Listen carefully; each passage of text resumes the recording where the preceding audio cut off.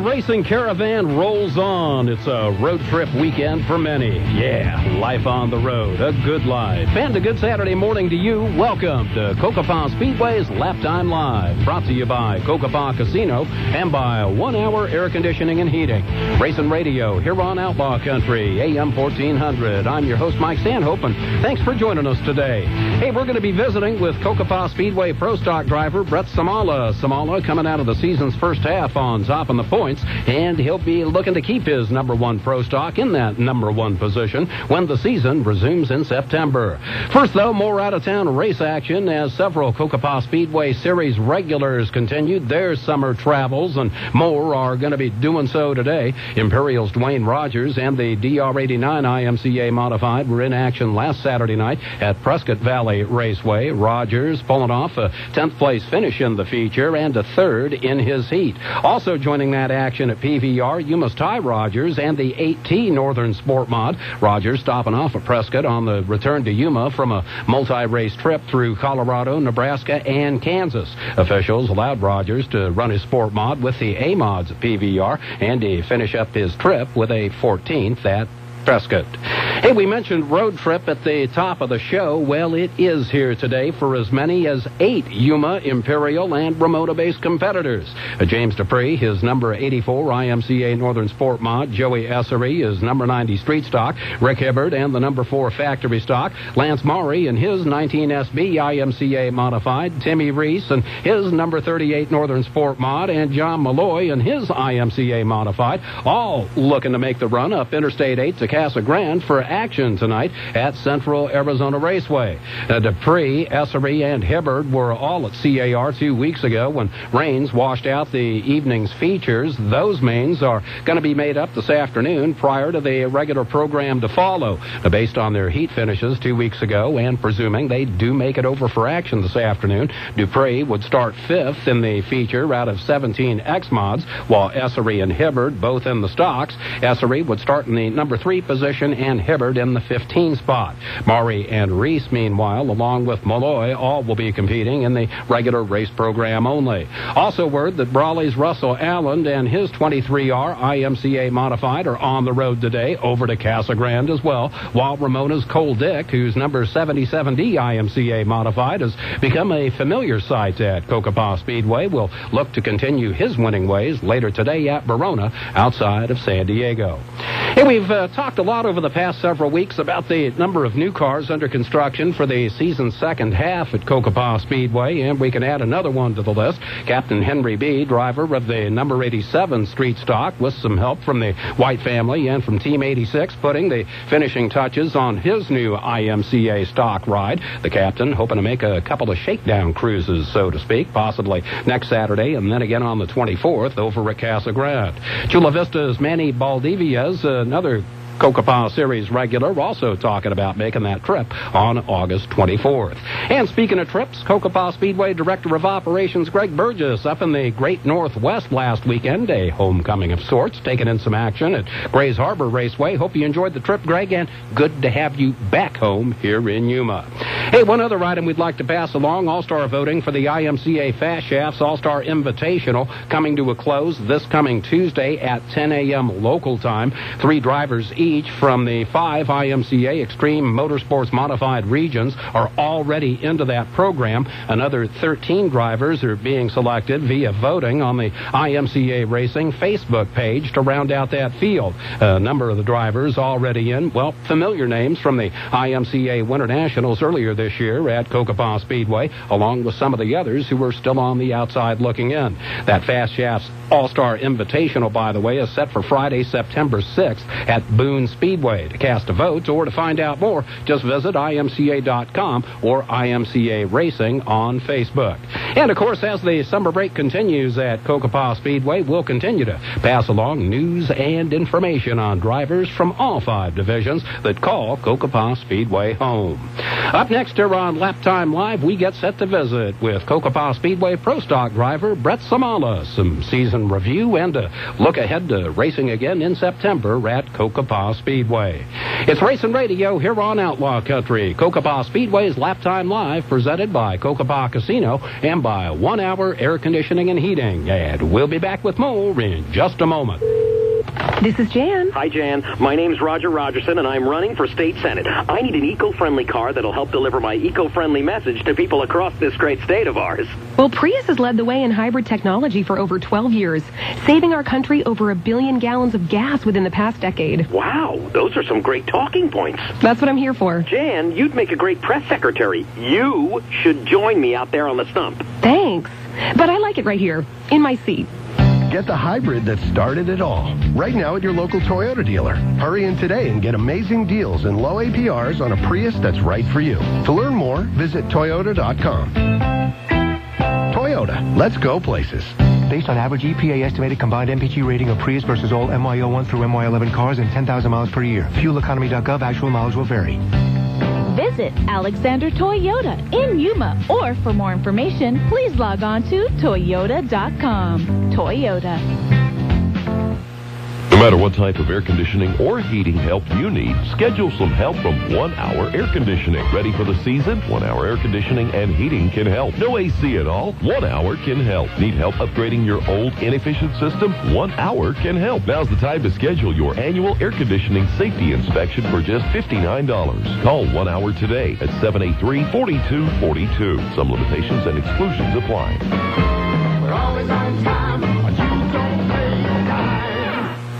Man, what do you have there? It's one of those new scratchers from the Arizona Lottery. Cash Bonanza. Why are you saying it like that? Like what? Cash Bonanza.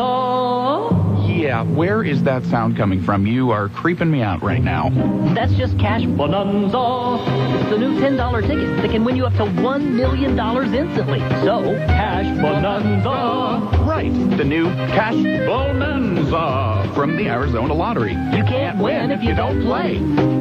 Hi, this is Joe Mantegna. Every time my Uncle Willie tells me about his service in Patton's Third Army in World War II, I'm reminded of what we owe the U.S. Army. 14 generations of American soldiers who have courageously defended our nation. Their stories represent the best of America and should never be forgotten. Join me to help build the National Museum of the United States Army, a long overdue tribute to all American soldiers. To learn more, visit armyhistory.org. You can help the Army Historical Foundation honor the soldiers of yesterday and today. Go to armyhistory.org to learn how you can help build the National Museum of the U.S. Army. The museum will be the Army's national landmark, preserving the sacrifice of every man and woman who has worn the Army uniform since 1775. Visit armyhistory.org today and honor the Army service of every generation. This message is brought to you by Z93 and Outlaw Country. Welcome to Food City. We have some tremendous extra savings just for you this week. Like Squirt, RC, Sunkist, or 7-Up soda in the big 2-liter bottles, just 88 cents each. Lay's potato chips or Doritos tortilla chips, just $1.99 when three are purchased in a single transaction. Bar S Jumbo Meat Franks or Bologna, 16-ounce packages, only 89 cents. And Pepsi, big 2-liter bottles, four bottles for only $4. Thank you for shopping and saving this week at Food City, the store, with low prices when you need them.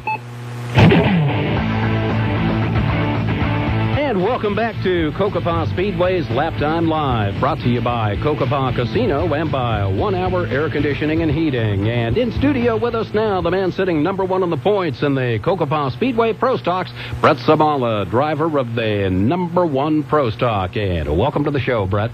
Good morning, Mike. Thanks for having me. Hey, thank you so much for taking time out of your day today to uh, come visit with us. And uh, just to start things off this morning, Brett, uh, midway through the season break at Cocopah Speedway, what have you been doing on summer break? Uh, we ran in Tucson a few weeks ago. Um, racing wise, that's about all we've done. Uh, you know, doing a lot of work on the car, stuff we didn't really have time to do during the season, and um, trying to get a little bit of a break. But um, we might do a little bit more racing here before we start up at Cocopah again. Uh, thinking about uh, possibly a trip back over to Tucson again? Yeah, um, they're on their summer break right now. Uh, we might possibly hit them one more time before they start up. Um, you know, Casa Grande would be nice, but uh, there's a big variance in the rules between ours and theirs, and uh, just need to see if uh, those guys would work with us and let us run up there or not. We will see how that works out, and if you do happen to uh, make the run on over, you know you'll take our wish of good luck with you. Thank you. Brett, you've been involved in racing in one form or another for, well, well over 20 years. Uh, your dad, Stan, of course, a driver of note at uh, at what was then Yuma Speedway, and uh, it just kind of a natural thing that uh, you were going to get involved in it and, and then stay with it for all these years? Yeah, I mean, my dad didn't push me into it or anything. I just grew up, you know, at the shop all the time, and um, I just loved being around the race car and working on it. And I mean, I've, you know, remember being around race cars since I can walk, and it just, yeah, it was definitely natural to me. I mean, I, it just seemed to make sense. Over the years, you worked your way through a, a variety of different uh, forms of racing. Of course, we take note of a 1997 Pro Stock Championship at, again, what was then uh, Yuma Speedway, but you spent some time in the sprint cars and also, uh, well, kind of the deep end of the pool early on back in uh, 2001 uh, in the Mid American Racing Series, running late models out of the Larry Shaw shop. What was that experience like? Oh, that, that was awesome. That was the experience of a lifetime. Um, you know, we ran back there um, off and on for about I think four or five months. We you know we kept the car and the hauler and everything back there, and we would go. You know, we kind of pick and chose our our weekends when we were going to go back when we could hit the most races and you know the closest races to uh, Batesville. Um, that's where you know we were based out of back there, and it, it was pretty tough. You know, we would um, you know work all day Thursday, catch a red eye out of Phoenix Thursday night would fly into Little Rock about six in the morning, uh, Friday morning, get a rental car, drive uh, about an hour and a half north to Batesville. Um, basically, just running on whatever sleep we could get on the flight there, um, and then you know start working on the car. And you know, depending on where we raced that Friday night, you know, we had to get going by mid, you know, mid to late afternoon. Um, we had we had a lot of help back there, you know, being um, you know right at the the shop, you know, the Shaw's shop but there was a lot of stuff that we had to do also. Do you still have uh, contact uh, with with the Shaw shop?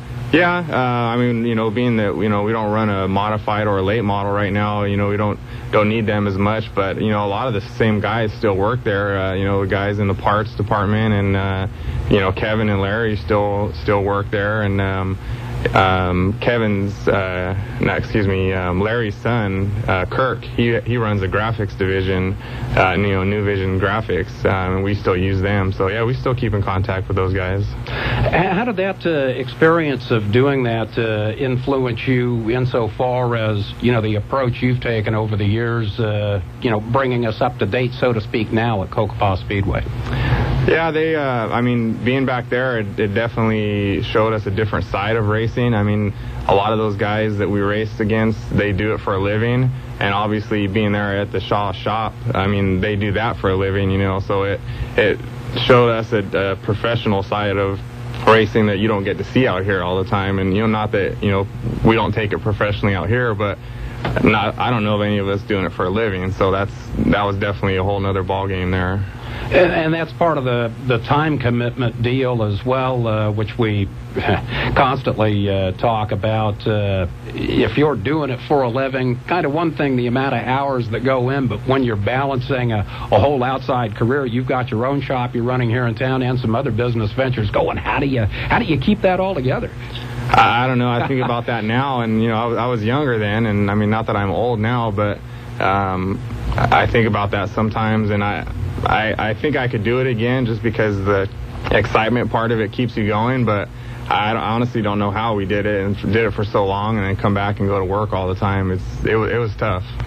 Well, coming back to the uh, present a little bit, you racked up seven wins in 2012. Fell short of the championship, though. Has that been a uh, a driver, a motivator for your performance this year? Uh, yes and no. I mean, you know, we we pretty much take every race, you know, race to race. You know, you know, even though we are leading the points, you know, we've never really been into so-called points racing. I mean, we show up every race to do the best we can, and, you know, we try to win every race. And you know, we did the same last season. We had. Um, you know, some mechanical problems in the beginning of the year that we missed a couple races from, and then we had some, you know, pretty bad mechanical problems, you know, during the year that, you know, cost us some points. So, I mean, we pretty much, like I said, go out every race and just do the best we can and, and try and win every race. And the points are going to happen how they're going to happen. Talked a little bit about the challenges uh, that you overcame there, uh, and and that's kind of a repeating theme in 2013 for you. Uh, five feature wins so far this year, but a couple of big mechanical issues along with some on-track contact. Yeah, yeah. Um, last year was, you know, um, was when we had a lot of the really bad uh, problems. We had a couple suspension um, failures, and it was actually it ended up being a, a new shock package that we were trying. Um, our left rear shock um, was just shouldn't have been on the car, um, and that was causing us um, some problems where we were getting into the wall there two or three races in a row. Finally got that figured out, and then uh, in the turkey race, you know, we had the real bad accident in qualifying on the Saturday night, um, and that was just, you know, we we go over that car bumper to bumper before every race. That's one of the last things that we do, and you know, it was uh, basically the set screw on the steering coupler um, came loose, and you know, we check everything on that car, and that was one thing that we didn't check. And I mean, it's it's under the dash, and you know, I, I've never seen anybody even have that problem before. So it was just something that we overlooked, and you know, we've come up with a solution now where you know it's impossible for that to happen again, but. It's one of those things with racing. I mean, you know, you never know what could happen. And you never stop learning. Yeah, exactly. Well, on the on the plus side of the ledger, uh, you got to visit with Tony Stewart a bit when uh, he was here earlier this year with the uh, Lucas Oil American Sprint Car Series. What what was it like talking with Tony? Yeah, you know, um, I was honestly not really a big Tony Stewart fan before. Um, and over the last couple years, I've become more of a Tony Stewart fan just because of his love for racing and how he still goes back to his roots of dirt track racing. And um, you know, we were we took the car out to Hot Lap um, that night, and we happened to pull in, and you know, one of the only open spots was right next to his hauler, and we parked there, and um, you know, his crew guys were, you know, pretty nice, talked to us a little bit, and then, you know, at the end of the night, you know, I went over and talked to Tony, and he actually, you know, um, took me inside the back of his hauler, and I talked to him for a few minutes, and he was really nice. I mean, you know, after his crazy weekend of going back and forth to PIR in, in Cocopah, uh, and to- on top of that, he had the flu the whole weekend. Um, I, I thought he handled himself pretty well. It had to have been a cool experience. Oh, uh, yeah. being able to break bread like that. so Oh yeah, definitely. Hey, we're visiting with Brett Simala, driver of the number one Pro Stock and leader of the points in the Cocopah Speedway Racing Series for the Pro Stocks in 2013. We're going to be back to talk more with Brett here on Cocopah Speedway's Lap Time Live, brought to you by Cocopah Casino and by One Hour Air Conditioning and Heating. August 4th through September 28th, break the bank at Cocopah Casino. And you can walk away with $20,000 in cash. Earn entries by playing your favorite slots, bingo, and table games. Every 20 points gets one entry. Weekly drawings every Thursday, Friday, and Saturday night. And winners are entered into the grand prize drawing on September 28th for 20 grand in cash. Want to increase your chances of winning the grand prize? Come in every Tuesday through Saturday and earn three grand prize entries during our hot seat drawing. $20,000 in cash. It's your chance to break the bank at Cocopah Casino. Live the rush. The Yuma Police Department averages 40 vehicle versus pedestrian accidents a year. That's 40 too many. We ask the driver to drive aware, the pedestrian to ride with care. Because the moment you're not aware of your surroundings could be your last moment. Drive aware. Ride with care.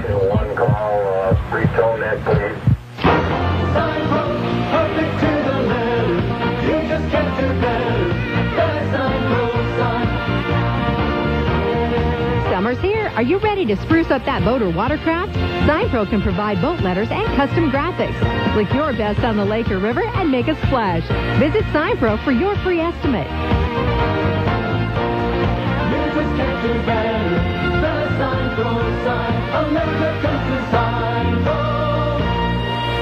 Ready to achieve your college degree and advance your career? Attend Grand Canyon University.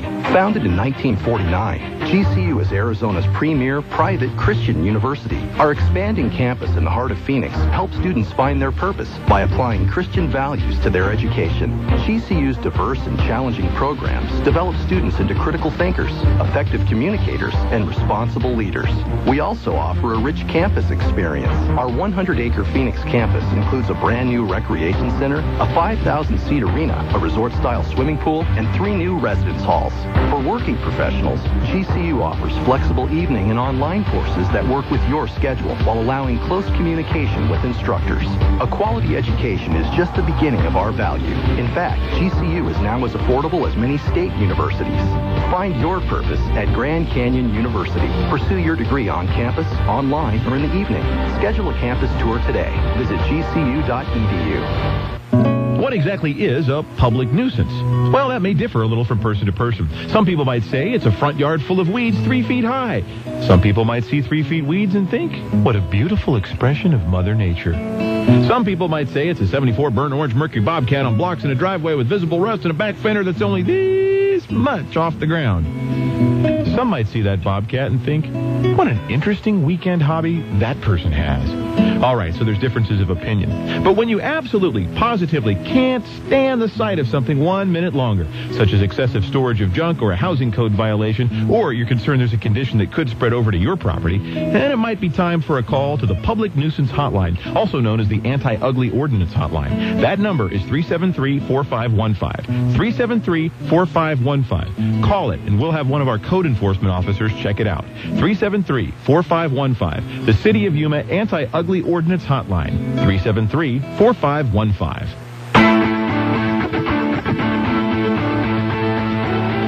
welcome back to Cocopah Speedway's Lap Time Live, racing radio here on Outlaw Country AM 1400, presented by Cocopah Casino and by One Hour Air Conditioning and Heating. And resuming our visit now with Brett Simala, driver of the number one Pro Stock. And Brett, uh, already talked about this a little bit, uh, but I want to come at this from just a little bit of a different angle. You are sitting first in the uh, standings here at the uh, season break, but that points chase is still somewhat tight. Goals for the second half to try and open that up, or is it just to get out and try to win every time?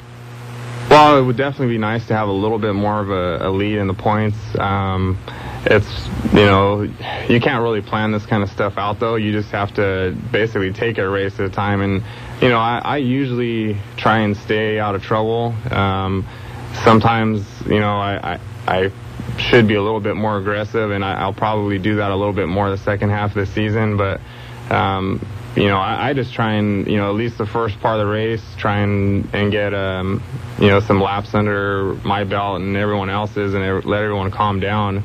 Um, and sometimes that's good. Sometimes it, it's bad because, you know, it, it can keep you out of trouble. But then sometimes you don't finish where you'd like to. So that's probably something that I'll, I'll do a little bit different this uh, next half is, um, you know, probably not lay back as, as much as I do sometimes towards the beginning of the race. Do you see the level of competition in the pro stocks, you know, coming up as the year has progressed? Yeah, it's definitely gotten more competitive, and um, there's four or five cars um, that I'm hearing um, that are should be pretty competitive cars. Some of the guys that have taken some time off, and you know, a couple new guys that are going to be back. So I, I look for the pro stock division to have you know a solid 15 car field uh, when we start back up in September, and I and I would say that probably half of those cars, um, or maybe more, are going to be very competitive.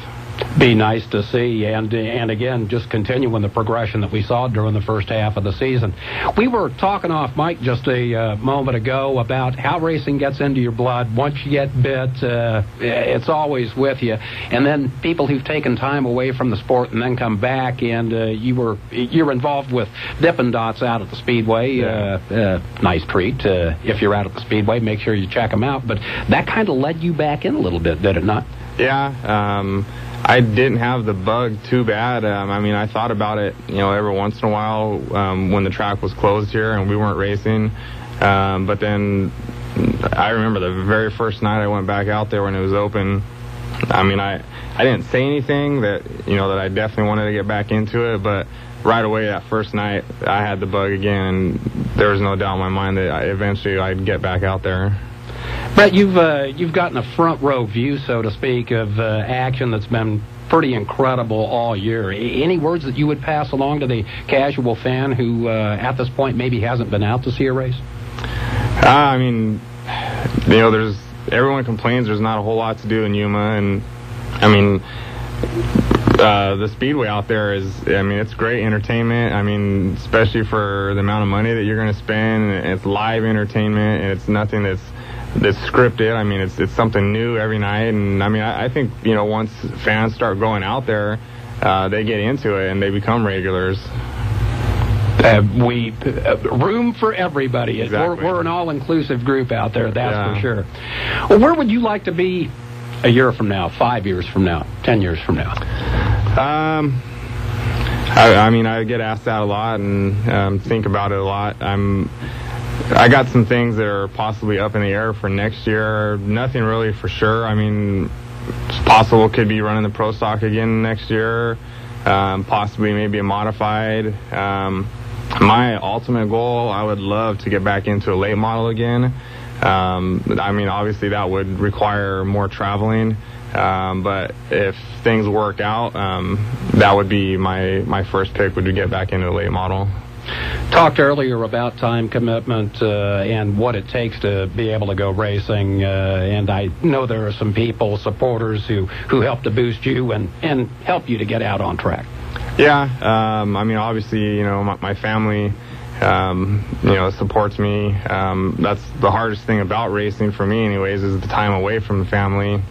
You know, between work, working on the car, and racing. Uh, but my family supports me. My, my dad supports me a ton. Um, I mean, he's always there helping on the car. Um, you know, after work. Um, have you know one of my guys on my pit crew, Tom Torrance. He's been um, on my pit crew since I was running the pro stock back in '97. He's always there to help out. Um, and then we have, you know, a couple, you know, sponsors, you know, our, our shop, UM Automotive, and then the All Star Detailing, and then um, we have Klein Engines, um, uh, Fourth Avenue Gym, and then uh, Joe over at uh, Chassis Dynamics. They've helped helped us out a couple times, um, and then um, Jeffrey Fabrication. They help us out a little bit too. So it takes it takes everything you can get. You know, all the help you can get helps out. Hey, can the end of the summer come soon enough for you? Uh, I, I want to start racing again, um, you know, on a more of a weekly basis. Um, the heat doesn't really bother me so much um, as the not racing does. Well, not all that long. We're only about seven or eight weekends away, and then we'll be back at it regularly here. And uh, I know we're looking forward to that, and we're certainly looking forward to seeing you back in action, Brett. Thank you. Hey, thank you for joining us today here on Lap Time Live. One more time, Brett Simala, driver of the number one Pro Stock and your Pro Stock points leader at Cocopah Speedway when we go back to racing September 28th at the Diamond in the Desert. Hey, there are other happenings ongoing around the complex of facilities that include Cocopah Speedway and Cocopah Casino. And here to tell us more about them, Anna Corpus. Good morning, Anna. Hi, Mike. As promised last week, I now have information on the 2013-2014 dove hunting season. It begins one half hour before sunrise on September 1st and ends at sunset on September 15th. Now, tickets go on sale August 22nd and are $60. As most hunters know, there are two dove seasons plus quail and pheasant seasons. So to get more information on that, check out cocopah.com for rules, dates, and additional cost. Tickets can be purchased at the Cocopah gift shop, our administration office, or at Sprague Sports in Yuma. For more information, call 928-627-2102. And if you're looking for some excitement tonight at Wild River, catch the action of UFC 163 Aldo versus Zombie inside the Sports Bar and Lounge. That starts at 7 p.m. All ages can enjoy Cosmic Bowling every Friday, Saturday, and Sunday from 6 until closing. And all this month at Cocopah Rio Colorado Golf Course and Grill, golf nine holes with a cart and lunch, all for $15. Remember, draft beer is only $1. You can always check out Rio's Facebook for event updates. Rio is located in Somerton and open from dawn until 1 p.m. And that's it for this weekend. See you next. Hey, thank you very much, Anna, and we will see you next week. And a reminder that information on all of those items and more is available at cocopah.com. And of course, as we look forward to the second half of the 2013 racing season, make sure you stop in as well at www.cocopahspeedway.com, where all of the scoop is available on the second half of the race season, plus a little bit of a look ahead to 2014 as well. And of course, make sure you like us on Facebook. Hey, we'd also note that uh, if you'd like to check out one of our prior Lap Time Live interviews, that archive is now available through cocopah.com. Just go to the multimedia tab and you'll be able to go back to one of our prior programs if you'd like to hear what a particular driver had to say at a particular time. Well, summer break, it may be on, but the racing news, well, it continues a week after week, and Uh, we'll, of course, be right here to bring it all to you as uh, we look forward and get ever closer to the second half of the 2013 season at the Diamond in the Desert. You've been listening to Lap Time Live, presented by Cocopah Casino and by One Hour Air Conditioning and Heating. We'll be back with more next Saturday morning, 11 a.m., here on Outlaw Country, AM 1400.